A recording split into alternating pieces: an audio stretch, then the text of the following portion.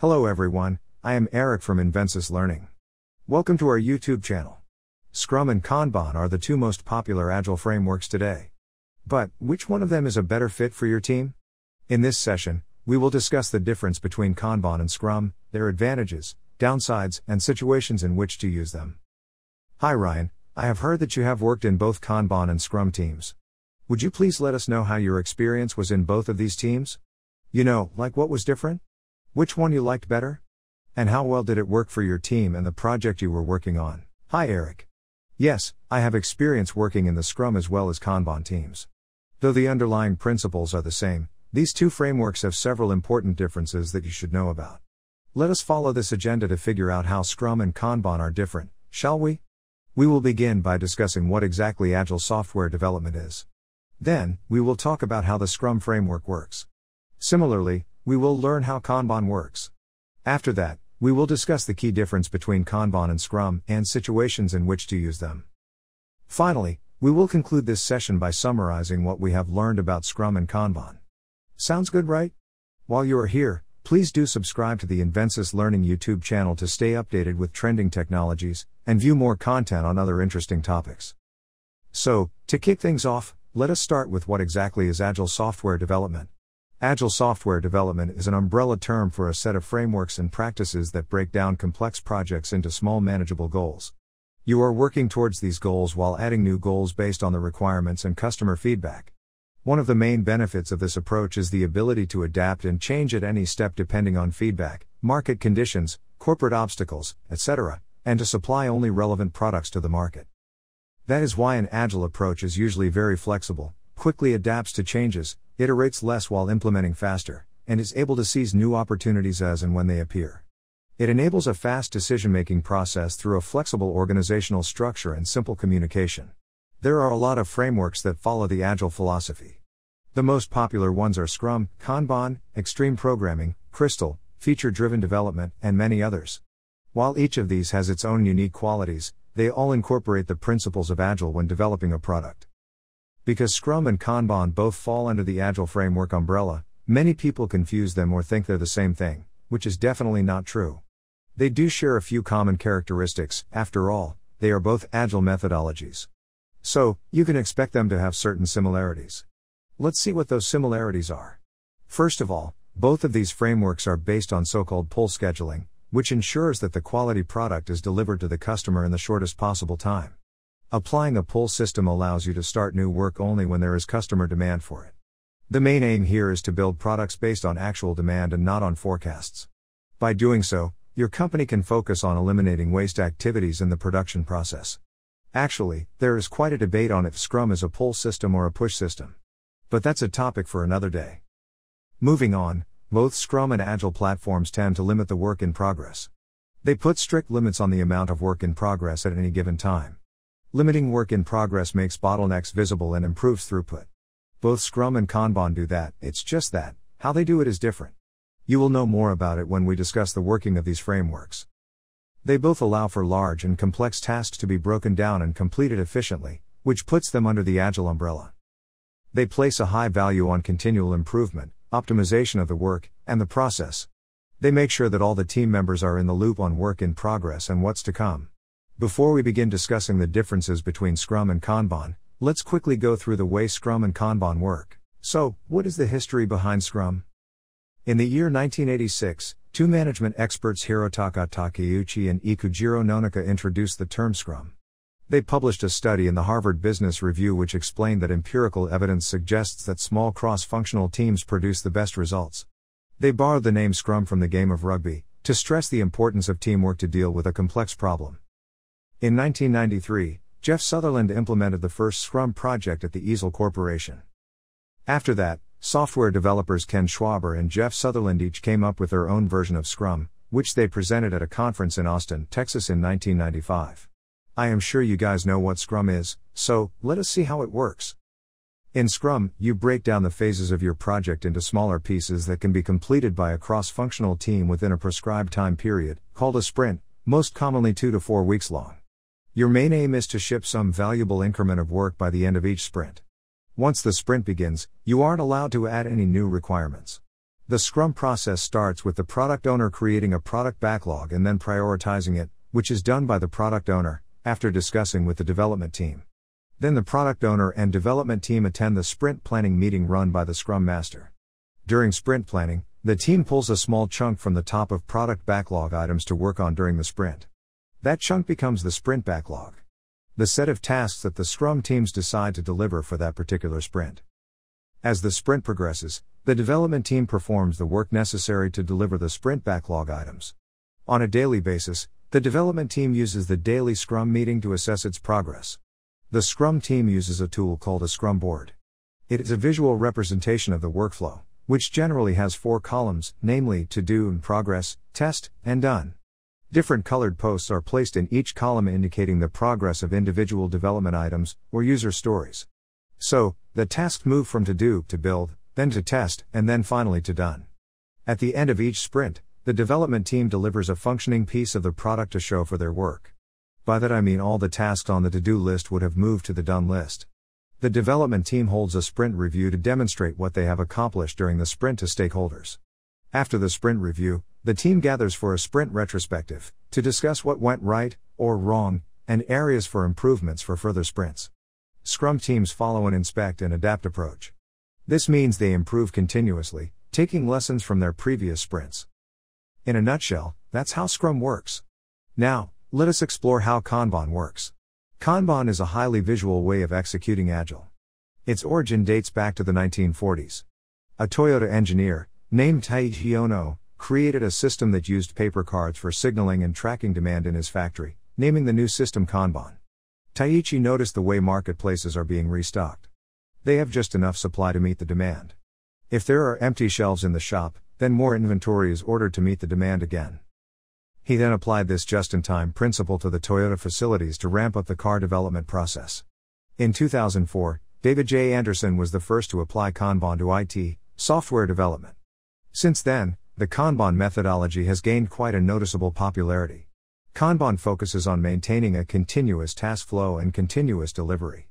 At the same time, the team is never given more work than it can handle.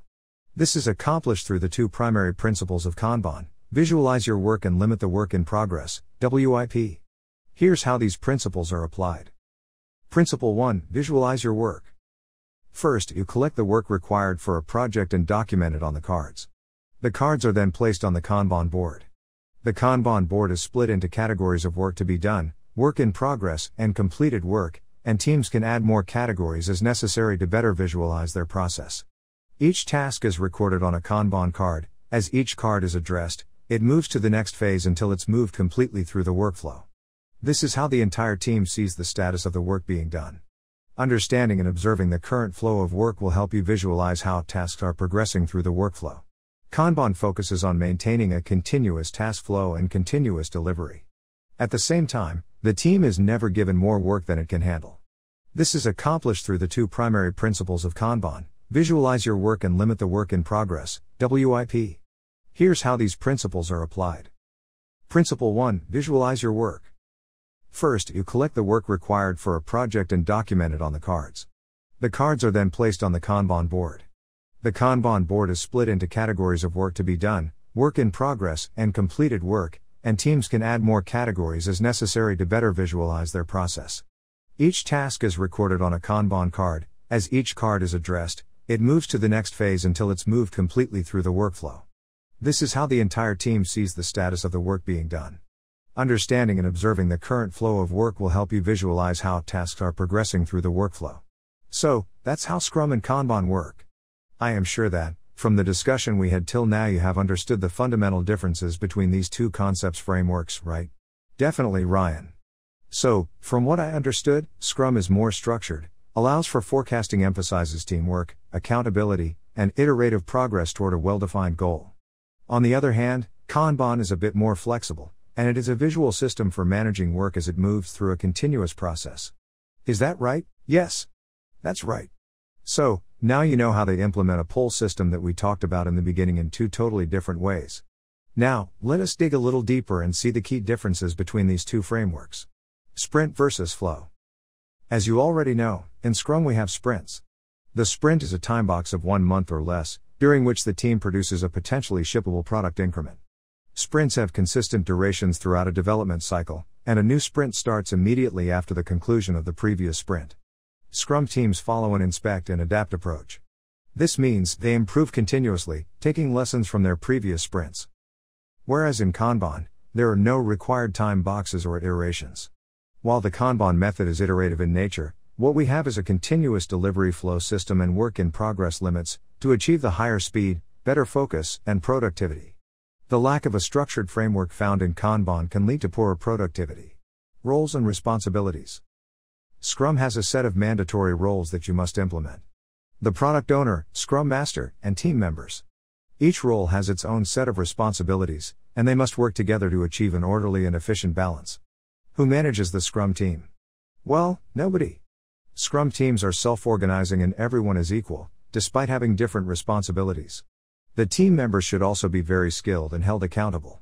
If there's a lack of accountability, the team will fall behind seriously as there is no management involved. Under Kanban, no set roles are prescribed. Although there might still be an agile coach. Unlike Scrum, there is no single Kanban master who keeps everything running smoothly. The entire team is encouraged to collaborate and chip in when anyone becomes overwhelmed. Again, if a team member is unclear about their role and the work is unattended, it will cause a domino effect on other team members. Commitment In the Scrum framework, the team commits to a specific amount of work for each iteration. Commitments are made based on previous sprints. So, if the team does not anticipate its capacity accurately, or unexpected problems arise, the sprint fails. In Kanban, the commitment is based on capacity. Work in progress limits prevent team members from working on multiple tasks. Everybody commits to finishing what they have started before engaging in new work. They only take up new work items if it's within their WIP limit. Planning. With a Scrum framework, planning happens iteratively at the beginning of each sprint. It helps set clear and specific targets that the Scrum team should complete during the sprint. It also brings everybody on the same page. With Kanban, there's close to zero planning involved. It includes just in time planning, instead of planning for a bigger time period.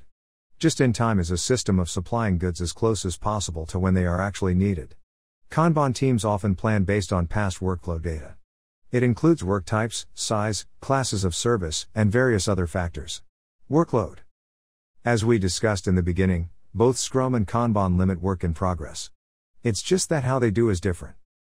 Scrum limits work in progress per iteration. The development team has to commit to the number of tasks that they are ready to accomplish during the sprint. For example, if the development team wants to complete all items in the in progress section simultaneously, nothing prevents them from doing so. Kanban, on the other hand, is a little different. Teams assign a limit to the number of cards in any active work columns. When the limit is met, no new work can enter the column until a task is completed and moved to the next column. For example, number 3 in the pink box means that there shouldn't be more than 3 items in the in progress column. Modifications or changes.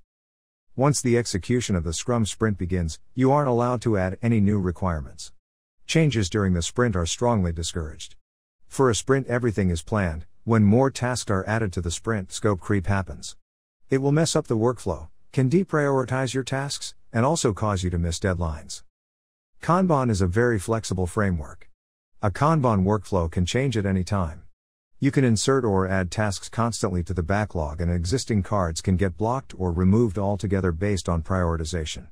When you are adding new tasks, work in progress limits should be kept in mind. Also, if the team capacity changes, the work in progress limit can be recalibrated and work items adjusted accordingly. It encourages modifications and promotes continuous adjustments. Key performance indicators.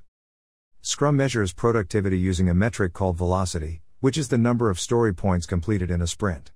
It guides future sprint commitments, or how much work the Scrum team can take on in the future sprints. If the team completes an average of 40 story points per sprint, velocity equals 40, it won't agree to a sprint backlog that contains 55 points. To keep a check on them, usually, Scrum teams implement a couple of charts such as burn down chart and velocity chart. Lead time and cycle time are important metrics for Kanban teams. They are used to calculate the average amount of time that it takes for a task to move from start to finish. Your goal is to reduce the values of each metric. Improving cycle times indicates the success of Kanban teams. The cumulative flow diagram, CFD, is another analytical tool used by Kanban teams to understand the number of work items in each state. The flow diagram will show you how stable your flow is and help you understand where you need to focus on making your process more predictable. Scrum board versus Kanban board. Visual management boards are used in both Kanban and Scrum. However, there are some fundamental differences between them. On a Scrum board, the columns are labeled to show the workflow states. At the beginning of the sprint, all the stories are added to the board. The goal is to get everything done by the end of the sprint. If all the stories are not present in the final column by the end of the sprint, it means that the sprint was unsuccessful. After the sprint retrospective, the board is reset for the next sprint. Kanban board also has the columns labeled to show the workflow states. The main difference between the Scrum board and Kanban board is that Kanban board has WIP limits visualized on it. For each status column, there is a work in progress limit. The maximum number of work items under that column cannot exceed this number. Kanban has no timeframes. So, it is not necessary to reset the Kanban board and start over. The flow continues for as long as the project continues, and the new items, or cards, are added as soon as the need arises. Application Scrum is ideal for projects where you want to move fast but you need some degree of planning and coordination. It is suitable for goal driven projects with fixed deliverables. You know, where the priorities may not change as much over time. Scrum is also suitable for non mature teams, or when you're new to Agile because it follows strict guidelines and rules. It is a very popular framework among software development teams. It can also be applied to other industries, such as advertising, construction, and event planning. On the other hand, Kanban is the best choice when you have a lot of incoming tasks with changing priorities. It is better suitable for mature teams. Because, when you are familiar with the organization's culture and have already developed reliable working habits, you wouldn't need to adhere to as rigid rules and guidelines as novices need. Teams involved in industries such as marketing, software development, or content creation can benefit from Kanban. So, Eric, these are the key differences between Scrum and Kanban. That was a great comparison. Let me just summarize what we discussed till now. Scrum is a more structured approach with defined roles and rituals that guide the development process. Kanban is a more flexible approach that allows the team to continuously work on new features and adapt to the ever changing requirements. The table that you can see on the screen summarizes the difference between Scrum and Kanban. Please go through it. Scrum and Kanban, both come with a broad scope of unique features, so it is up to you to choose the most suitable option. Scrum and Kanban can be used together. In fact, the Scrumban framework has emerged. It merges the structure and predictable routines of Scrum with Kanban's flexibility to make teams more agile, efficient, and productive. Scrumban was initially created as a way to transition from Scrum to Kanban. By extracting the best of both frameworks, Scrumban teams are more flexible in their ability to adapt to changes as they arise. The bottom line is to do what works for your business and your customers. If it means combining the features of both Scrum and Kanban, then go for it. So, has this spiked your interest? Are you planning to be a Scrum Master? We can help. At Invensis Learning, we provide Scrum Alliance accredited certified Scrum Master training worldwide. Enroll now and take the next step in your pursuit to master Agile. For more updates on trending technologies, subscribe to Invensis Learning YouTube channel. Also, if you have any queries, share them with us in the comments section.